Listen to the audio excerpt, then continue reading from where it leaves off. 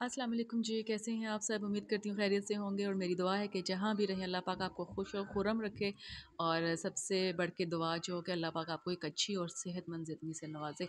तो ये देखें ज़रा इस्लामाबाद की सड़कें, खूबसूरत सड़कें और अभी मैं आपको बताऊँगी कि हम लोग कहाँ जा रहे हैं। अभी नहीं बताऊँगी, थोड़ा सा आगे चल के बताऊँगी।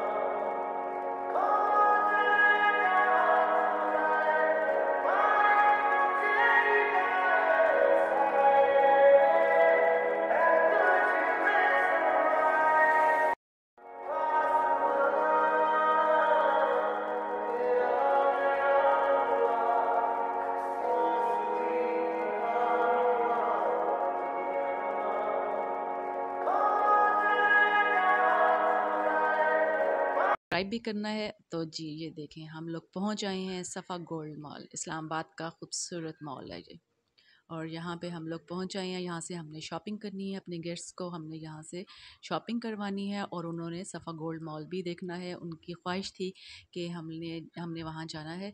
वहीं से बल्कि उनको अमेरिका से ही फ़ोन आ गया था कि हम लोग वहाँ जाएँगे और गीगा मॉल जाएँगे। ये देखने की हमें बहुत ज़्यादा ख्वाहिश है। तो बस हमें हम उन्हें यहाँ पर ले आए हैं और यहाँ पर सबसे पहले तो हमने थोड़ी सी शॉपिंग की, शॉपिंग करने के बाद बस सबके जो थे ना वो गले खुश्क हो गए थे। चल चल के तो हमने कहा कि चले यहाँ पे ज़रा थोड़ा सा फ्रेश जूस जो है ना वो पी लेते हैं। तो किसी ने ऑरेंज जूस ले लिया था, किसी ने शुगर कैन का और किसी ने अपनी अपनी पसंद के अनार का। बस अपने इस तरह अपनी पसंद के जो थे ना, ले लिया था जूस। बस जूस पीने के बाद फिर हम लोगों ने थोड़ा सा ज़रा ताज़गी तरोताज़ा हो गए थे। तो हम लोग फिर चल पड़े अपने काम की तरफ़। इसलिए कि टाइम कम था हमारे पास और मुकाबला बहुत सख्त था और हमने बहुत ज़्यादा भी शॉपिंग करनी थी और कपड़े सेलेक्ट करने थे कुछ समझ नहीं आ रही थी। ये हम लोग सना सफ़ीनास पे आ गए हैं और ये देखें कितने खूबसूरत कलेक्शन है। यहाँ पे अच्छे कलर्स हैं, अच्छे यहाँ पे एम्ब्रॉयडरी वाले कपड़े भी हैं और पार्टी वेयर भी है कैजुअल भी हैं, सारे माशाल्लाह से बहुत अच्छे कपड़े थे। इनके प्राइस भी अच्छे हैं, लेकिन मेरे तो हिसाब से काफ़ी एक्सपेंसिव कपड़े थे वैसे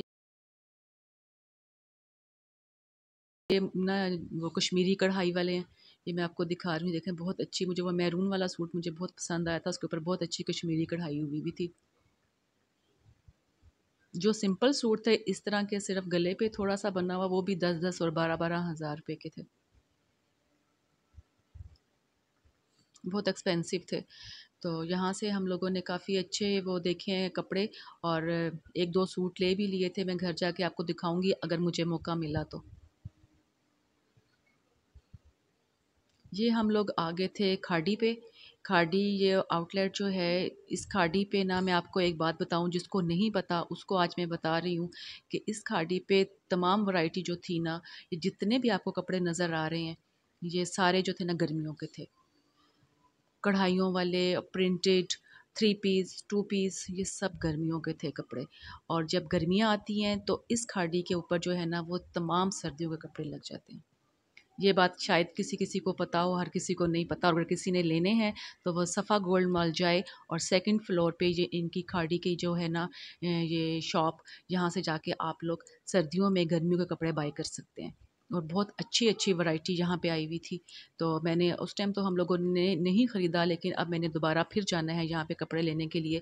इसलिए कि अब जनवरी स्टार्ट हो गया है और साथ ही जो है ना, बस एक महीने के बाद समझ समझ लें कि फ़ेब के बाद तो मार्च स्टार्ट हो जाएगा और रमज़ान शुरू हो जाएगा। तो इसलिए मैं चाह रही थी कि थोड़े से कपड़े जा जाके ना यहाँ से गर्मियों के हम ले आते हैं और स्टिच करवा के तो रख लेते हैं। फिर रमज़ान में बिल्कुल भी नहीं जाया जाता। और यहाँ पे ये हुडीज़ वगैरह अपर्स और ट्राउज़र्स सब बहुत अच्छे लगे हुए थे।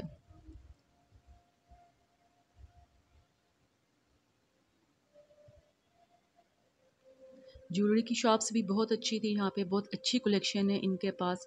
ब्राइडल्स के लिए भी बहुत अच्छी है और जैसे झूमर और बड़े बड़े सेट अपने उसके साथ, लहंगों के साथ मैच करके लिए जा सकते हैं। बहुत अच्छी वैरायटी थी इधर।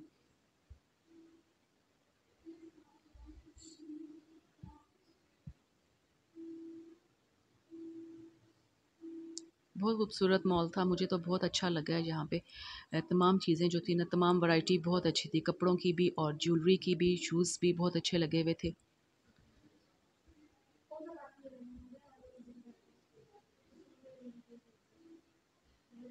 बस यहाँ पे हम लोगों ने फिर सफ़ा गोल्ड मॉल से बाहर आए तो मारिया बी की शॉप है। बहुत बड़ा, बहुत अच्छी उनकी आउटलेट है। वहाँ से हम लोगों ने मारिया बी से कपड़े लिए इनके और लेने के बाद फिर हम लोग जो थे ना, बस खाने पीने के लिए निकल आए हैं और अब कह रहे थे रात के तकरीबन नौ, साढ़े नौ हो गए हुए थे। तो हम लोगों ने कहा कि पहले यहाँ से कुछ खा पी लिया जाए तो उसके बाद फिर बस घर चलते हैं। हमारे घर भी गेस्ट आ गए हुए थे। हमें बार बार कॉल आ रही थी कि घर वापस आएँ, इसलिए कि मेहमान आ गए हुए हैं। तो हम लोगों ने कहा कि अब हम खाना खाए बगैर तो नहीं जाएँगे, पहले खाना खा लें तो फिर चलते हैं। तो हम लोग जिना सुपर में पहुँच आए थे, यहाँ से हम लोगों ने खाना खाया और बहुत मज़ा आया था।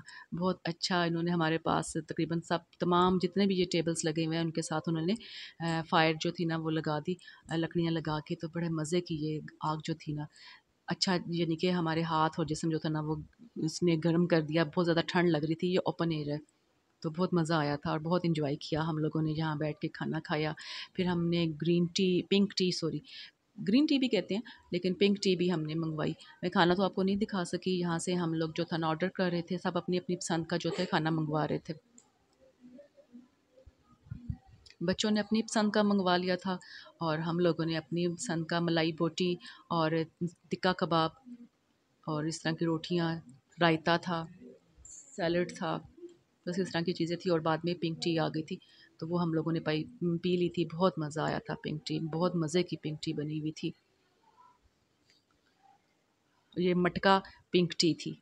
मटका चाय तो आपने सुनी होगी, लेकिन ये मटका पिंक टी है, बहुत मज़े की थी। बस यहाँ से हम लोग जो थे, अब घर वापस जा रहे थे तो रास्ते में ये मैं आपको दिखा रही हूँ। ये देखें आप कितना अच्छा लग रहा है। और बस यहाँ पे जो है ना मेरी वीडियो एंड हो रही है।